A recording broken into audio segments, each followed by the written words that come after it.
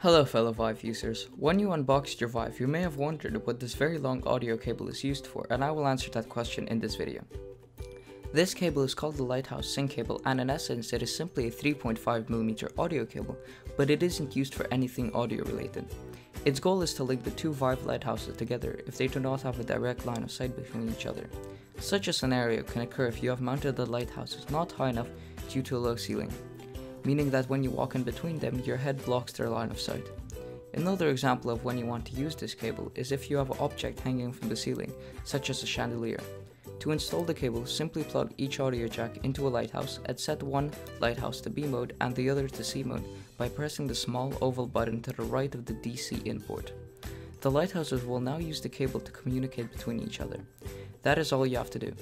If you found this video informative, please consider subscribing to see more content from me.